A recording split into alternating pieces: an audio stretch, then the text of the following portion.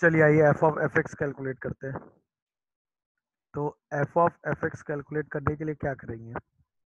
X की जगह F x रख देते हैं।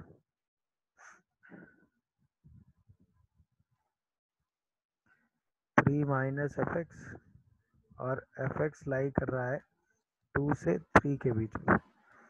अब इसके बाद चूँकि हमको एफ़ एक्स फ़ंक्शन ही वेरी कराना है तो एफ़ एक्स का ग्राफ बना लेते हैं। रीजन वाइज वैल्यू पुट कर देते हैं। तो एफ़ एक्स का ग्राफ जो है वो ज़ीरो से टू के बीच में कुछ और है टू से थ्री के बीच में कुछ और है। ज़ीरो पर इसकी वैल्यू कितनी है? वन टू पर वैल्यू कितनी है? थ्री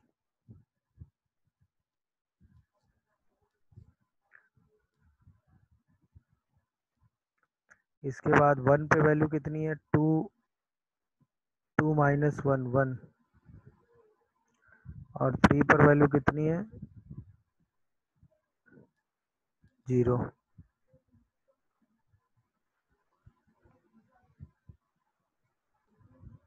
ये आ गया। अब हमें जो एफ़ एक्स फ़ंक्शन डील करना है, उसके दो रीज़न है। पहला रीज़न है ज़ीरो से टू तो पहला रीज़न हमने बनाया ज़ीरो से लेके टू के बीच में। ये पॉइंट हो गया टू फ़र्स्ट रीजन हो गया। दूसरा रीजन है टू से थ्री के बीच में। ये दूसरा रीजन हो गया। अब आइए तो बीच में एक पॉइंट टू फंस रहा है। टू किस लाइन के अलॉन्ग फंस रहा है? One plus X one plus X two के बराबर कब होगा? जब एक्स वन के बराबर होगा। ठीक है? अब हम एफ़ ऑफ़ एफ़ एक्स लिखने जा रहे हैं। आवाज़ आ रही है भाई सबको?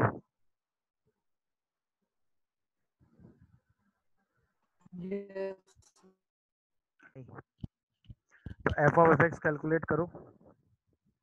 अब देखो ध्यान से। सबसे पहले हम रीजन डील कर रहे हैं ज़ीरो से टू वाला, यानी ये रीजन इस रीजन में एफ़ एक्स की दो डेफिनेशन पार्ट ले रही हैं। इस वाली डेफिनेशन को हम कहेंगे वन प्लस एक्स इस वाली डेफिनेशन को हम कहेंगे थ्री माइनस एक्स तो ये वन प्लस एक्स वाली डेफिनेशन कब तक आ रही है? जब तक एक्स ज़ीरो से वन आ रहा है। क्योंकि हम एफ़ एक्स को टू के बराबर नहीं ले रहे हैं तो इसका मतलब वन काउंट नहीं हो रहा है। सिर्फ़ ज़ीरो से वन की बात हो रही है। तो इसका मतलब जब एक्स की वैल्यू ज़ीरो से वन जा रही है तो कौन सी डेफिनेशन है वन प्लस एक्स यहाँ पर? तो हमने लिख दिया one plus one plus x अच्छा फिर जब x को हम कहाँ से कहाँ काउंट कर रहे हैं? टू से थ्री काउंट कर रहे हैं। अच्छा टू को हम इंक्लूड करेंगे।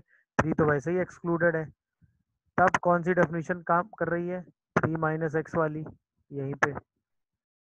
यानी one plus three minus x और जबकि एक्स कहाँ से कहाँ काम कर रहा है? टू से थ्री अब और सेकेंड वाले रीजन में जब एक्स टू से थ्री है तो सेकेंड वाला हाफ़ आ गए सेकेंड वाले हाफ़ में ये वाली पोर्शन है, यानी ये कौन सा है? वन प्लस एक्स इस वाले फ़ंक्शन में, और वो भी कहाँ से? वन से लेके टू तक।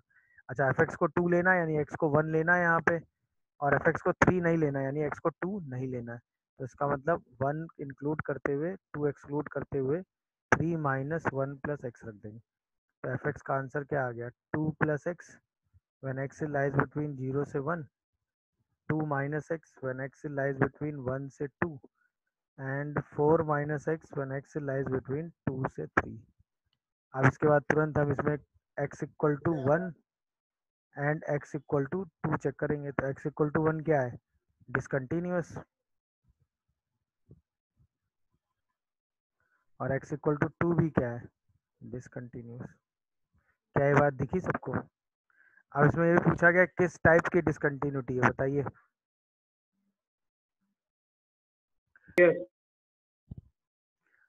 लास्ट क्लास रिवाइज नहीं की है क्या?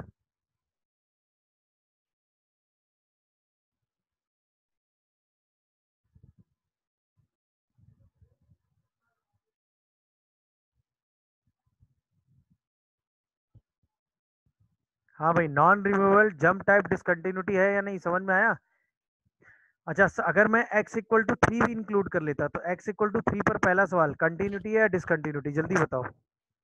वैसे तो थ्री इंक्लूड नहीं है, मान लो चेक करते तो क्या करते क्या थ्री पे लिमिट एग्जिस्ट कर रही है? Yes yes. क्या थ्री पर वैल्यू डिफाइन है? No no. तो अगर x equal to three check करना पड़ता तो इसमें कौन सी डिसकंटिन्यूटी होती?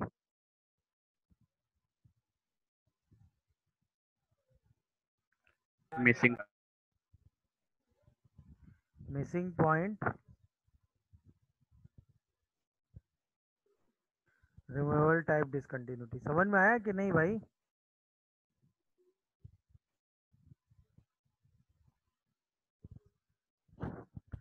क्या ये बात सबको समझ में आ रही है? बताइए भाई, क्या f x x equal to two पे डिसकंटिन्यूअस है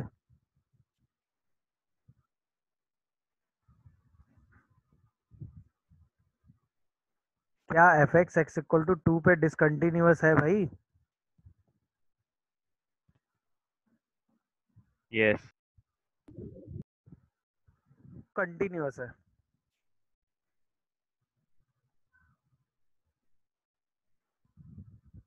जी एक्स कंटिन्यूअस फ़ंक्शन है या नहीं है बताओ मुझे। इसमें Yes. कोई भी डिसकंटिन्यूअस पॉइंट नहीं है। क्यों? ये सारे पॉलिनोमियल हैं तो कंटिन्यूअस वन हो सकता था। तो वन से पहले वैल्यू भी माइनस वन आ रही है, वन पे भी माइनस वन आ रही है, वन के बाद भी माइनस वन आ रही है तो कंटिन्यूस हो गया ये। क्लियर है भाई? अब आपको निकालना है एफ़ ऑफ़ जी एक्स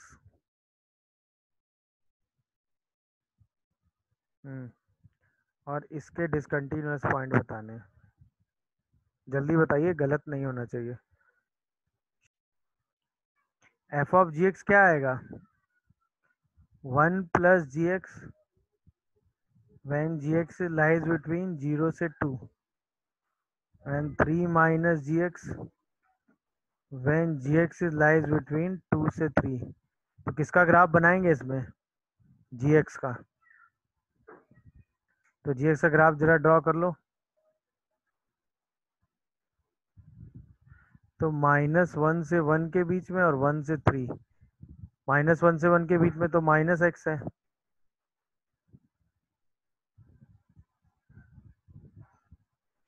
तो ये ना माइनस वन और ये वन। इसके बाद आओ, वन से थ्री के बीच में एक्स माइनस टू है। तो वन पे वैल्यू कितनी आ रही है?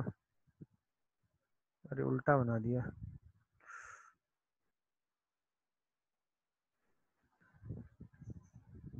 माइनस एक्स बनाना, ऐसा होगा कुछ।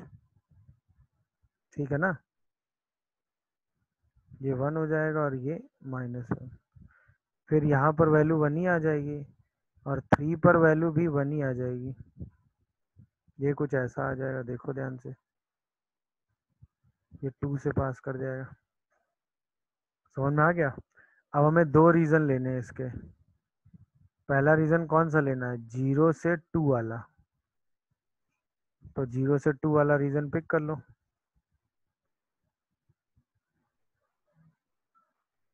ये हो गया टू तो यही एक रीजन है। टू से थ्री वाला रीजन बनाने का मतलब ही नहीं, क्योंकि उस रीजन में तो कोई फ़ंक्शन आएगा ही नहीं। वैसे रीजन बना लेते हैं। बट उस रीजन में तो कोई फ़ंक्शन आई नहीं तो वेस्ट हो गया। ज़ीरो से टू में दोनों डेफिनेशन उठा के रख दीजिए।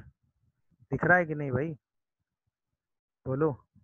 तो ज़ीरो से टू में पहली डेफिनेशन कहाँ से जाएगी? माइनस वन से वन तक में आएगी। और फिर वन से लेके नहीं, पहली डेफिनेशन कहाँ से कहाँ तक आएगी? माइनस वन से ज़ीरो तक और फिर टू से थ्री तक। तो इसका मतलब अगर मैं f of g x function लिखूं तो क्या लिखूँगा बताओ? एक्स को मैं लाई कराऊँगा कहाँ से कहाँ तक? माइनस वन से ज़ीरो। और डेफिनेशन में क्या रखूँगा? माइनस एक्स तो वन माइनस एक्स और फिर मैं कहाँ से कहाँ लूँगा? टू से थ्री। और अब मैं क्या रखूँगा? One plus x minus two. तो इसका मतलब ये क्या आ जाएगा? One minus x, one x lies between minus one से zero. And minus, sorry, two से थ्री, एक्स माइनस वन। देख लीजिए, कोई कंफ्यूजन आ रहा हो तो बताइए। क्या यही आया? सब डिसकंटिन्यूस हो जाते हैं। ये इस क्वेश्चन की खासियत है। देखिए क्वेश्चन दो पार्ट में है। आपने तो पढ़ाई था ना नंबर लाइन चलती है तो उसमें नंबर रैशनल इरेशनल चलते हैं। तो अगर मैं किसी x इक्वल टू ए की बात करूँ और a को मैं रैशनल कह दूँ तो a के जस्ट नेबरहुड का जो नंबर होगा, a प्लस एच या a के जो जस्ट नेबरहुड का नंबर होगा, a माइनस एच ये दोनों नंबर जो होंगे, वो इरेशनल हो जाएँगे। अगर ए रैशनल है, और अगर मैं ए को इरेशनल बोल दूँ तो जो इसके नेबरहुड के नंबर ए प्लस एच और ए माइनस एच होंगे, ये दोनों क्या हो जाएँगे? रैशनल हो जाएँगे। क्या ये बात समझ में आती है? तो बस इसी कॉन्सेप्ट को हम यूज़ करेंगे।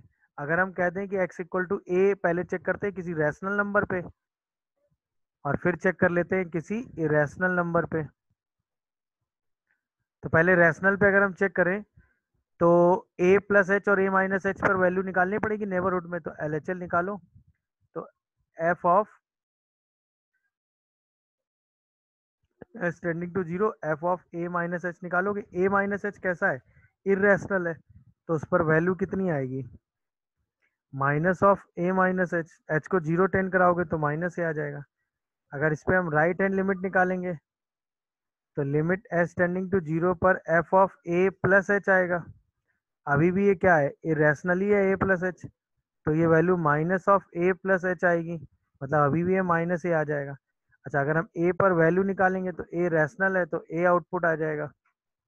अब अगर हमें कंटिन्यूटी करनी है तो a equal to minus a होना चाहिए फॉर कंटिन्यूटी समझ रहे हो कि नहीं? तो ऐसा सिर्फ़ तभी हो सकता है जब ए क्या होगा? ज़ीरो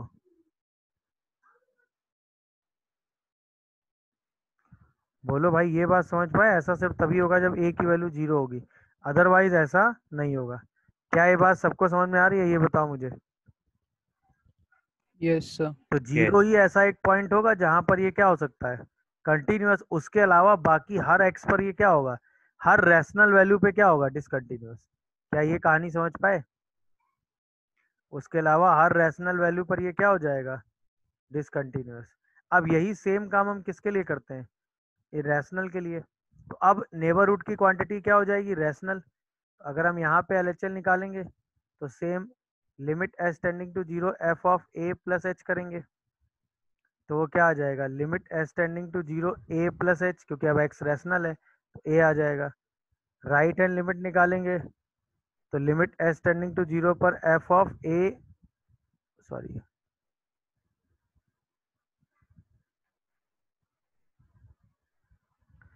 plus h कर देंगे। अभी आ जाएगा limit h tending to zero a plus h तो अभी भी ए आ जाएगा और एफ़ ऑफ़ ए निकालेंगे क्योंकि ए इरेशनल है तो माइनस ए अभी भी फॉर कंटिन्यूटी क्या होगा? A equal to minus a होगा।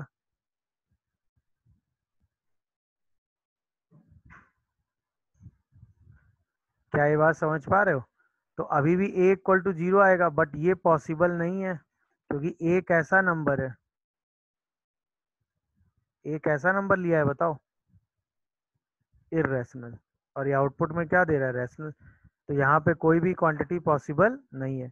यानी सिर्फ़ एक ही पॉइंट डिसकंटिन्यूटी आएगा। अच्छा इतना सब करने का मतलब नहीं था। ये दोनों जहाँ बराबर हो जाए, वहीं पर कंटिन्यूटी आ जाएगी। तो ये दोनों कहाँ बराबर हो सकते हैं? ज़ीरो पे। अदरवाइज़ ये कभी बराबर नहीं हो सकते।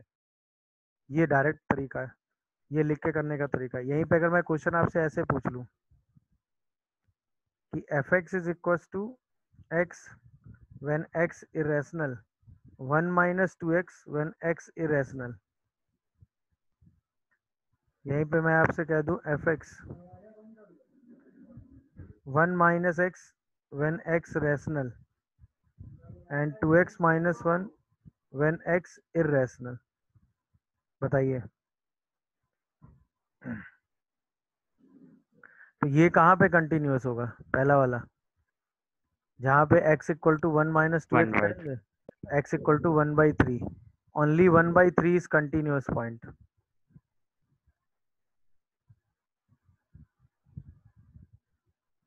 बाकी सारे पॉइंट कैसे होंगे? डिसकंटिन्यू ये कहाँ होगा? वन माइनस एक्स को टू एक्स माइनस वन के बराबर कर लेंगे।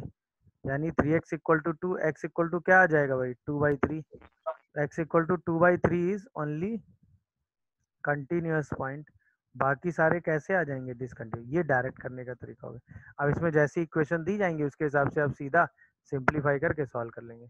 क्या देखिए, जब भी इस तरह के क्वेश्चन आपके सामने आएँगे, जिसमें सारे डिसकंटिन्यूस पॉइंट निकालने होंगे तो हम ऐसे चलेंगे। सोच के बताओ मुझे, ये वाला जो बॉक्स एक्स है, सिर्फ़ तभी डिसकंटिन्यूस होगा जब एक्स इंटीजर होगा। ये तो ओके है। कॉस वाला तो कभी डिसकंटिन्यूस हो ही नहीं सकता। तो इसका मतलब ये पूरा फ़ंक्शन अगर डिसकंटिन्यूअस होगा तो कहाँ होगा?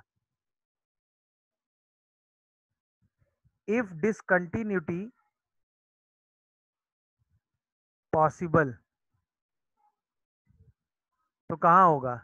X belongs to integer otherwise बाकी सब जगह फ़ंक्शन कैसा है? बोलिए। अगर x को हम सारे रियल नंबर लें इंटीजर को छोड़कर तो एफ़ एक्स कैसा फ़ंक्शन है? कंटिन्यूस ये तो आपने पढ़ा है ना? ये बात बताओ, ये बात समझ में आई जो मैंने स्टेटमेंट लिखा? यस सर क्यों? क्योंकि भाई, अगर इंटीजर को हम हटा दें तो ये फ़ंक्शन कंटिन्यूस ये फ़ंक्शन कंटिन्यूस और product of two continuous function is continuous तो इंटीजर को छोड़कर बाकी सब जगह ये फ़ंक्शन कैसा है? कंटिन्यूस यानी हमें सिर्फ़ चेकिंग कहाँ पे करनी है? इंटीजर पे। अच्छा हम एक एक करके सारे इंटीजर तो चेक कर नहीं पाएँगे। तो अब इस टाइप की सिचुएशन में क्या करते हैं? जनरल कॉन्सेप्ट लगाते हैं। हम एक्स इक्वल टू ए मान लेते हैं और ए को एक इंटीजर कह देते हैं। तो ए पर चेक करना शुरू करते हैं। सबसे पहले एफ़ ऑफ़ ए निकालो तो box of a into cos of two a minus one by two into pi बोलिए भाई। तो ये वैल्यू क्या ए इंटू ज़ीरो ज़ीरो आ गई? क्योंकि ये तो पाई बाई टू का ऑड मल्टीपल है, और पाई बाई टू के ऑड मल्टीपल पर ये वैल्यू हमेशा क्या हो जाएगी? ज़ीरो अब आइए लेफ़्ट हैंड लिमिट पे आते हैं। तो limit h tending to zero a minus h रख देंगे। तो box of a minus h into cos of two a minus two h minus one into pi by two अच्छा ये वैल्यू तो ए माइनस वन आ गई। जैसे इस पे आओगे limit h tending to zero पर cos of two a minus one minus two h into pi by two तो अभी भी ये odd multiple of pi by two बनेगा एस ज़ीरो टेंड कराने पर तो अभी भी ये ज़ीरो आ जाएगा। राइट हैंड लिमिट पे आ जाइए।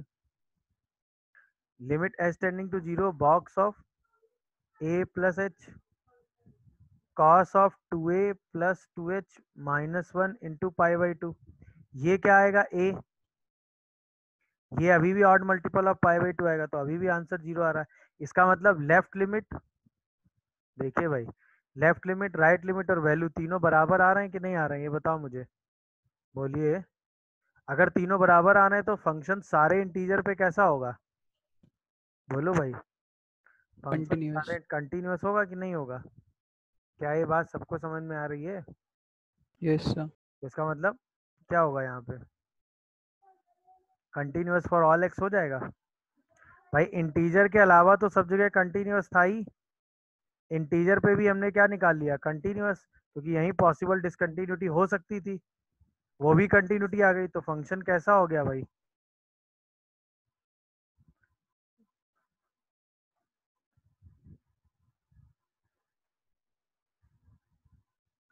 फॉर ऑल एक्स फ़ंक्शन कैसा हो गया भाई? कंटिन्यूस क्या है मेरी बात समझ पा रहे हो? हाँ या ना में जवाब दो। यस सर कोई कंफ्यूजन या डाउट हो तो बताइए। बोलिए भाई। किसी को कोई कंफ्यूजन या डाउट हो तो जवाब दो भाई।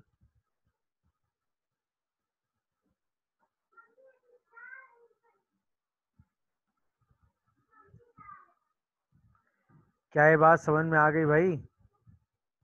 Yes sir